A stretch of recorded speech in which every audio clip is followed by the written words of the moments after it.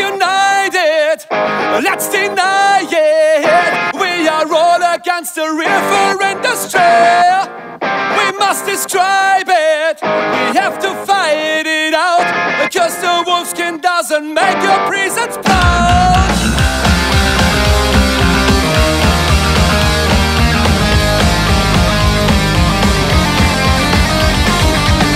Is it important that the real?